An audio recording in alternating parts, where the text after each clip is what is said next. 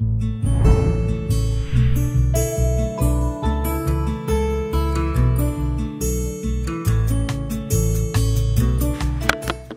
you got your Bibles, uh, primarily I'm going to be in Exodus 2, and uh, I'm going to also read a passage out of Hebrews chapter uh, number 11. So Hebrew, or excuse me, Exodus chapter 2, uh, back there in the Old Testament is where primarily message, message is going to be at this morning. I'm going to go ahead and read uh, Hebrews uh, chapter 11 and uh, verse 23 for sake of time to get us kind of rolling here. Uh, by faith, Moses, when he was born, was hid three months of his parents because they saw he was a proper child, and they were not afraid of the king's commandment. And then Exodus 2, To read the first 10 verses there out of Exodus 2. Exodus chapter 2. And there went a man of the house of Levi and took to wife a daughter of Levi. And a woman conceived and bare a son, and she saw him that he was a goodly child. She hid him three months. When she could not uh, longer hide him, she took for him an ark of bulrushes and dabbed it with slime and with pitch, and put the child therein. She laid it uh, by the flags or laid in the flags by the river's bank. And his sister stood afar off to uh, wit what would happen, or what would be done to him, excuse me. Uh, and the daughter of Pharaoh came down to wash herself at the river, and her maidens walked along by the riverside. When she saw the ark among the flags, she sent her maid to fetch it. And when she had opened it, she saw the child, and behold, the babe wept. She had compassion on him, and said, This is one of the Hebrews' children. Then said his sister to Pharaoh's daughter, Shall I go and call to thee a nurse of the Hebrew women, that she may nurse the child for thee? And Pharaoh's daughter said to her, Go. And uh, the maid went and called the child's mother. And Pharaoh's daughter said unto her, uh, Take this child away and nurse it for me, and I will give thee thy wages. And the woman took the child and nursed it, and the child grew, and she brought him unto Pharaoh's daughter, and he became her son. And his name was called, or, and she called, excuse me, his name Moses. And she said, Because I drew him out of the water. So the title of the message today is The Mothers of Moses. The Mothers of Moses. And we see a, a very unique situation here where we see someone who is in a situation similar to today. He had a, a traditional mother and he had a non traditional mother. Uh, he had a mother that brought him into this world, and then uh, Moses turned around and was placed into a, a situation where he had someone that, that was a mother but was not his biological mother. And this is one of the uh, uh first instance, instances in Scripture where we see a mother in a very non traditional role here. And uh, on Mother's Day, I, I, thought this would be a, a, uh, a, good passage to look to where, where we see a diversity. Uh, I, I, can I see here of, of, diversity of motherhood that I think if we focus on, uh, it can encourage us and, and we can learn some, some good principles to take home with us today. Let's uh, pray one more time. Father, I thank you for your word. I thank you for uh, bringing us together. And we know it's important to gather, and uh, we, uh, uh we need uh, this gathering as part of our personal growth and, and part of uh, our obedience to you, not just showing up, being obedient, but yielding ourselves to you through what we sing and, and what we preach about and what we talk about here within the confines of our church. Help us to uh, see what we need to see today from your word. We know it's your word that changes lives. It's not the, the clever or crafty words of man, uh, for that is only mere manipulation, and we want to see change lives today. And uh, may uh, everything that's said and done in the remainder of our time honor and glorify you. Help me at this time. Cause me to say what you want said. Keep me from saying anything you want said. And uh, Lord, I pray for the one maybe that's struggling with salvation today that you would speak to that heart, encourage them to uh, do business with you while there's still time to do so. In Jesus' name I pray. Amen. The mother of today's society faces some unique challenges uh, in this world, do they not? I saw a cartoon recently that illustrated what these challenges look like. The cartoon illustrated a, a psychologist talking to a patient. The patient's laying down on the on the uh, couch there, and the psychologist is sitting there in his chair. And I'm not necessarily promoting everything psychology offers, but uh, just follow me with the cartoon. Just track with me for uh, just a minute. Uh, he looks at her and he says, Let's see. You spend 50% of your energy on your job, 50% on your husband, and 50% on your children. I think I see your problem.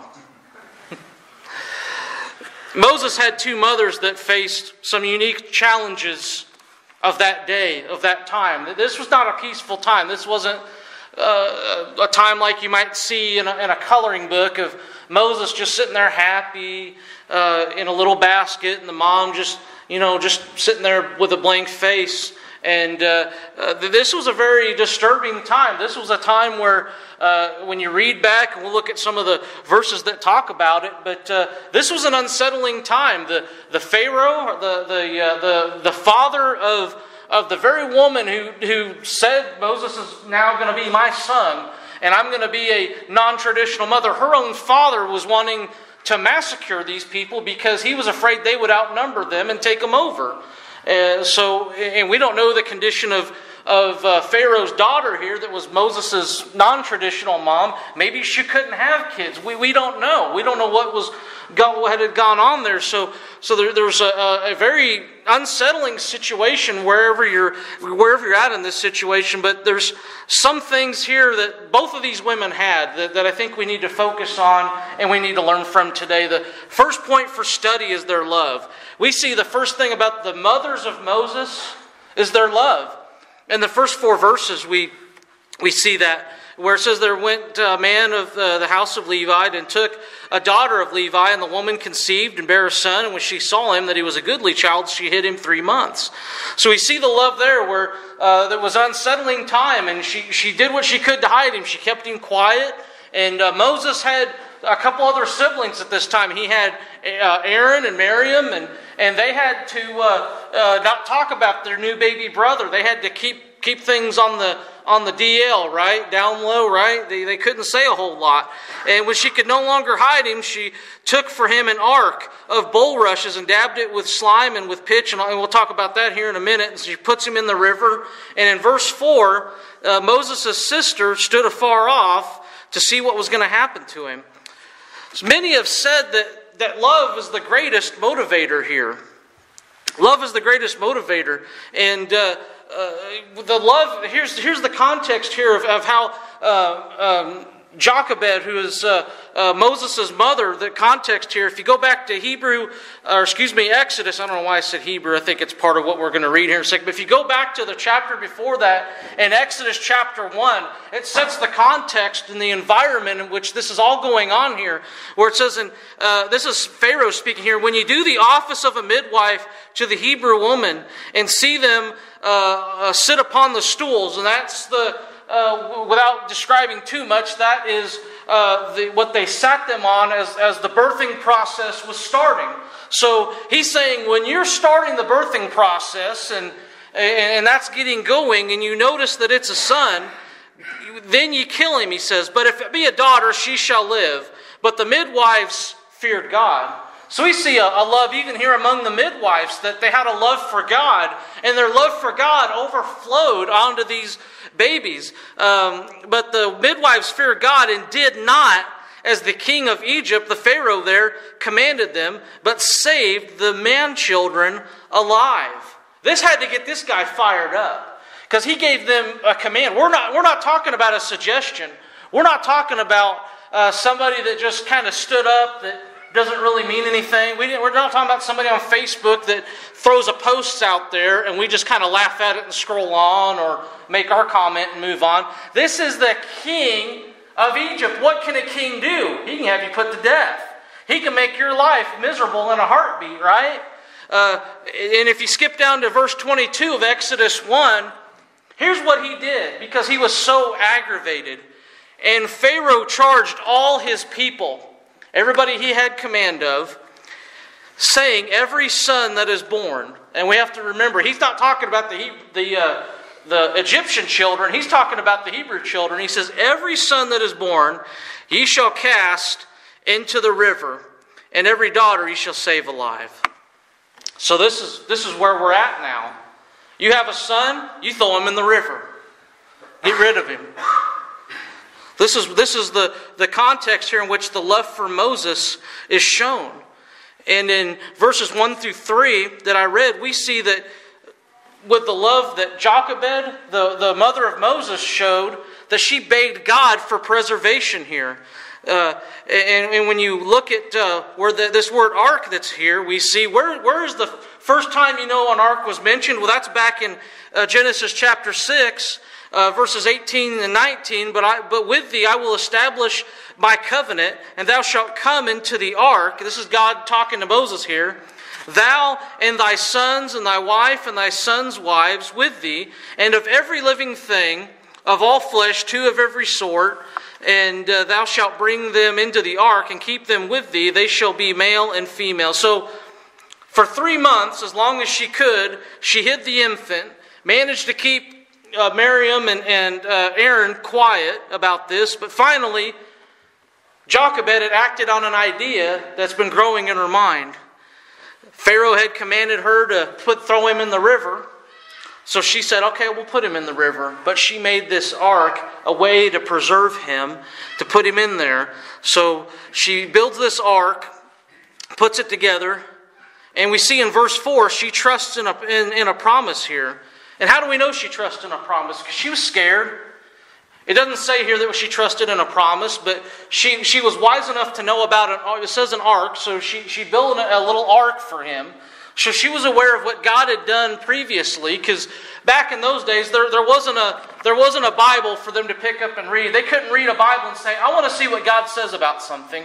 Everything that they knew had been orally passed on through conversation, through telling stories.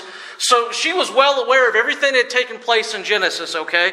Uh, in Genesis chapter 22, 10 through 13 gives us a promise here. Something that, that I believe Jochebed knew about and trusted in. Because here it says, Abraham stretched forth his son and took the knife to slay his son. That's, that's Isaac. God had told him to offer, him, offer up an offering and take his son Isaac. And uh, the angel of the Lord called out uh, uh, unto him out of heaven, saying, Abraham, Abraham. And Abraham said, Here am I. And he says, Lay not thine hand upon the lad, neither do thou anything unto him, for thou fearest God, seeing thou hast not withheld thy son, thy only son from me. And Abraham lifted up his eyes and looked, and behold, behind him a ram caught in the thickets by his thorns. And Abraham went and took the ram and offered him up for a burnt offering instead of his son. So we, we know that she was must have been familiar with that, and she believed that, hey, God had, had promised to make Abraham a father of many nations, and yet at the same time, he wanted him to give up his son uh, uh, to God. So in, so in her mind, she knew that since God has honored that promise and prospered that nation, even though there was just you know three people there, uh, uh, uh, Abraham and his wife Sarah and Isaac, and then the, fast forward to Exodus, there's millions now. So she knew that God wanted to preserve his people and would do it, and she trusted, hey God, I'm, I'm putting him in the river because I can't hide him anymore. I'm trusting you. I'm trusting that you're going to do what you said you would do, that you would, you would bless your people. And that's something that we need to learn from. Uh, many of us, I think, uh, uh, have had mothers that have prayed over us and, and trusted in that promise of God hearing our prayers. And, and uh, we need to be so thankful and appreciative of that today. The love shown by Pharaoh's daughter is talked about in verses 5 and 6 that the daughter of Pharaoh went down in verse 5 and she sees him and she uh, pulls him out opens it up in verse 6 and she sees, says, Behold, the babe wept, and she had compassion on him. So, how, how is she showing love here? There's a lot of ways she's showing love, but she pulled him from crocodile infested waters. She pulled him, and she pulled him from the Nile River, basically. And has anyone, I don't know if you've ever been to the Nile River, or maybe you've seen something on National Geographic TV, or maybe even in a magazine. Uh, that is not one of the safest places to probably be at. There's crocodiles there. Uh, what little research I did, uh, hippos are there, and while you know there's that cute little song, uh, "Wanting a Hippopotamus for Christmas," I, have heard hippos are are kind of an aggressive creature. Uh, you can't go up and pet a baby hippo at a zoo; it probably bite your hand off or get up, get upset at you. But uh, there's snakes in there. Uh, when I go fishing, one of the first things I do is look for snakes, and those little critters are sneaky. Uh, when I used to work out at Fellows Lake, I remember one time uh, just tying up my boat to the marina there and getting out from patrolling, and I see a snake just swimming through the water. And the first time I, I would never seen anything like that. And I'd, I'd been out fishing at lakes before when I was a kid, but I couldn't remember seeing anything like that. And this snake was probably about that long. I might be exaggerating a little bit, but when you don't like snakes, a, a, a baby gardener snake is that long, okay? Uh, I saw this guy swimming through the water and thinking, man, you know, what, what is, there's things in lakes and in rivers that we don't even see. Um, the mosquitoes, and that's just to name a few. So when Moses gets put in this little ark of bulrushes by Jochebed and gets picked up by uh, Pharaoh's daughter, this isn't like putting a little baby in a basket at the James River and watching it float down the James River. We're, you know, we're talking about a, a pretty dangerous situation here. But in this dangerous situation, we see love shown by Jochebed, that she loved him enough to uh, uh, uh, keep him quiet for three months. And, and she loved the promise of God enough to, to, to not give in to uh, the demands that Pharaoh had, the king of Egypt, as, as he's called here, of wanting uh, Moses just thrown in head first into the water.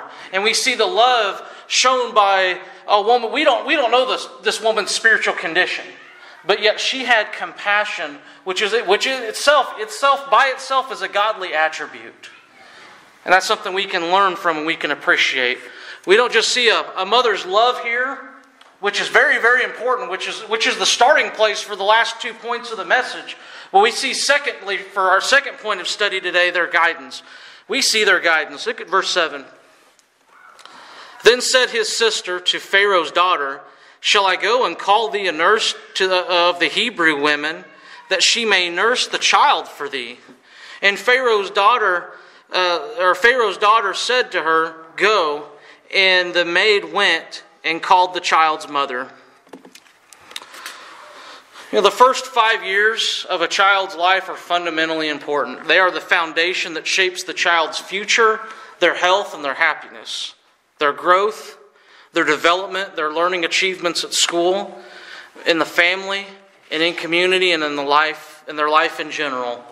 Uh, that's not my own thoughts. That's something that, that I found from a uh, somebody that I won't say they're an expert, but they specialize in early childhood development. That those first five years are so formidable for a child and so important uh, that they learn certain skills and that they, they get some uh, learning skills developed there. But uh, with the guidance here of, of, of a mother, the guidance of, uh, of Pharaoh's daughter, the decision she made right off the bat here is the first thing to touch on. She chose to put Moses into the care of his own mother and family. Maybe she had an idea who he really belonged to, maybe she didn't. But she made a decision here that gave Moses guidance, and she had no idea that she was making such a decision. But she was making a decision to send to put uh, uh, Moses in a position where he was going to learn about God at an early age, and he was going to learn certain things at, at, those formative years of his life. We see a, a direction from Jochebed, Moses' mother. She taught him to despise injustice. If you look across the page, or excuse me, look down just a few verses in verse 12, um, talking about Moses here, he looked this way and that way, and when he saw that there was no man, he slew the Egyptian and hid him in the sand. Now, his the way he went about this, he shouldn't have murdered the Egyptian. He was guilty of murder, but he saw the injustice that was going on, And in verse 11, it tells us when it came to pass in those days when Moses was grown that he went out unto his brother and he looked on their burdens and he spied an Egyptian smiting a Hebrew, one of his own brethren. So that's why he committed that murder. He saw what was going on. And I believe that uh, Jochebed, his biological mother, taught him to hate what was going on. Taught him to hate bullying, in other words, to, to hate the enslavement there. Uh, she taught him the, the folly of his anger. In verse 13, in that same uh, chapter 2 here, and he went out the second day. Behold, two men of the Hebrews stove together, and he said to them, uh, uh Wherefore smittest thou thy fellow? She taught him to despise uh, the folly of anger. And in verse 17, she taught him to defend the weak. And the shepherds came and drove them away, but Moses stood up and helped them and watered their flock. So there was a situation here.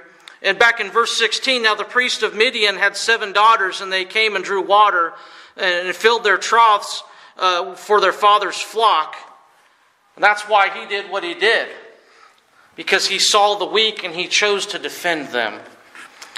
So we see that there's, a, there's guidance that's important here. The very decisions of Pharaoh's daughter impacted Moses, and she had no idea. The, the, the few years that uh, Jochebed spent with Moses nursing him, getting him to the place where she then turned him over to Pharaoh, she gave him some foundational principles here. We see finally their care.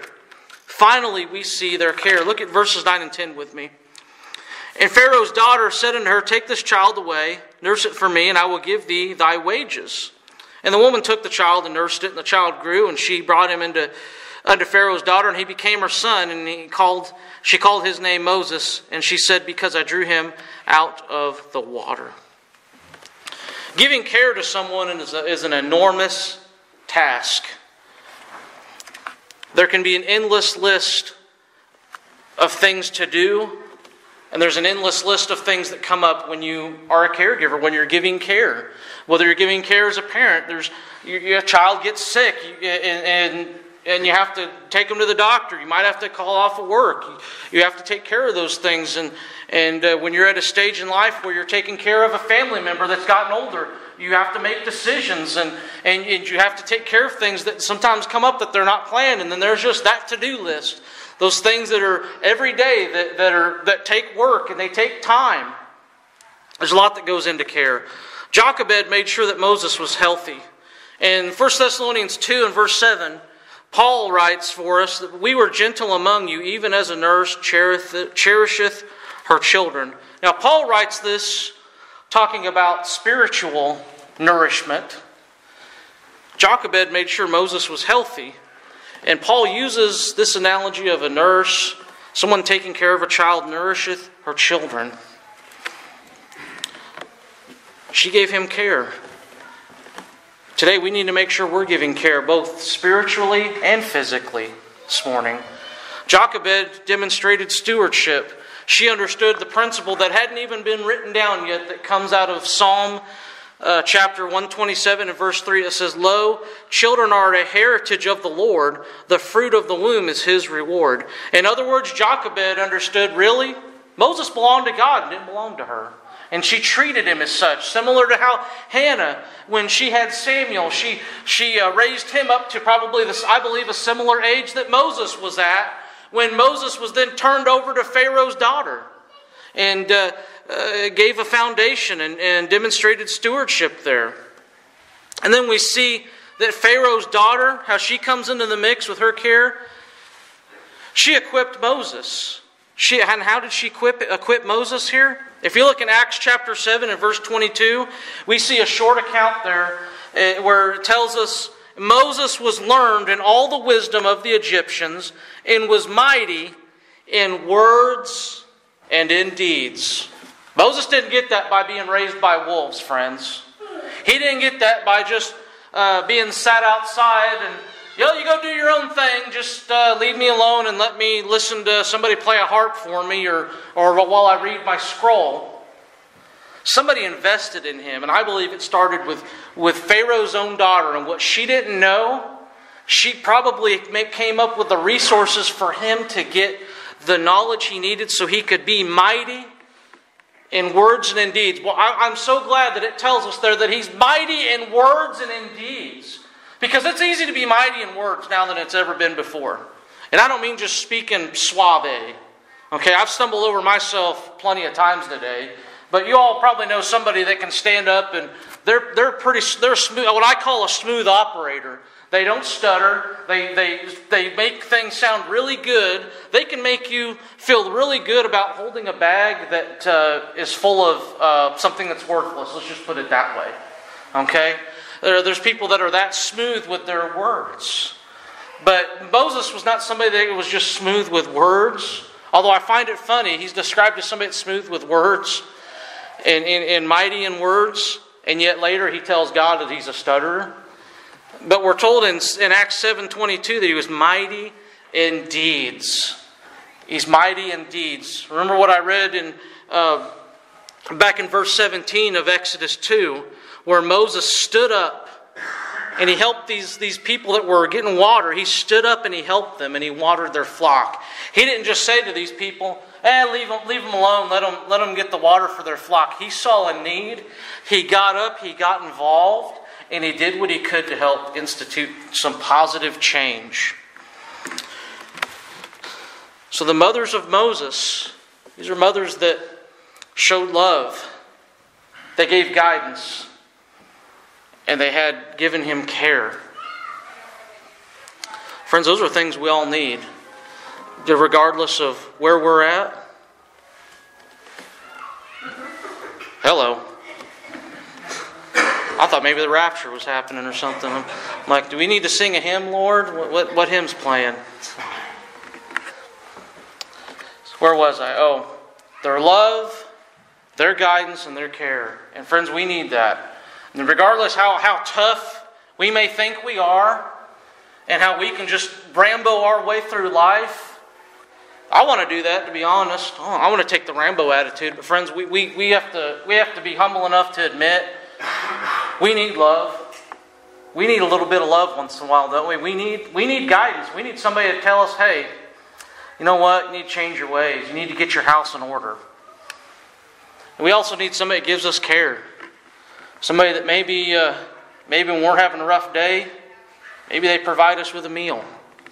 Uh, uh, maybe they go take us fishing. That's providing some care in some way, is it not? In closing,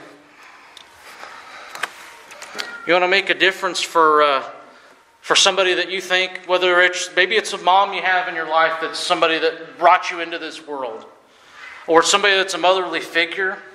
A way you can make a difference is to write down 31 ways, or 31 things, excuse me, that this person has done for you or does for you. Make a point of thanking them specifically for one each day for the next coming month. On each day of the following month, pay her a new compliment on one of her good attitudes, character qualities, habits, and talents and be prepared for a better relationship than you've enjoyed in quite a while. Some, most, a lot of that applies to marriage, but you can use that on a mom. I found that this week and thought it was perfect to illustrate how do you close out a message where you talk about somebody showing love, somebody not just you know talking about it, somebody that's actually doing something. Uh, what what can you what do you do with when you hear a message like that? Now, how do we how do we tie this back to Christ? Do the same with Jesus Christ today and see what happens. Trust Him for salvation if you never have. Follow Him in believer's baptism. Now, that doesn't save you, but it's just like this ring that I wear. I just now took it off. Does that mean I'm single? No, it doesn't. I'm still married now. Charity would probably wonder why are you not wearing that? But, uh, but the fact I took it off, I'm still married. And uh, baptism's a similar idea as a wedding ring, it's a symbol. Uh, I knew a lady I used to work with uh, when I was working at uh, a Kmart distribution center in Kansas, sending trucks out. And the truck drivers were trying to ask her on dates, and she wanted them to leave her alone. Well, she started wearing a, not a full wedding ring, but she would wear a ring. And just like that, they left her alone. Because they thought she was in some relationship, and she wasn't. But I asked her, I said, I noticed you're wearing a ring. She said, Yeah, it's just to keep the truckers from uh, bothering me. That was all it was for. And then finally, something else to think about what to do with a, a message like this with, with love, guidance, care. Consider joining this body or this family of believers because membership matters, and that's something that in my two years here I, I have failed to probably state as often as I ought to. But because uh, sometimes I think God will just take care of things, and, and He will. But it's also my responsibility to bring things up and, and, and at least how do we apply messages? And membership is part of it, pledging ourselves to be part of a, a local body. And when the Apostle Paul wrote his letters in the New Testament, he named people. He didn't name people that just to be generic. He didn't name people whose names sounded good. He named people who were counted to be part of those places that he wrote to. He wrote to those people that were in their meeting groups. Just like in a family, you just don't make up names. Those names are, are they're people that have importance, they have significance. They're people you show love to, they're people you show guidance to, they're people you show care to.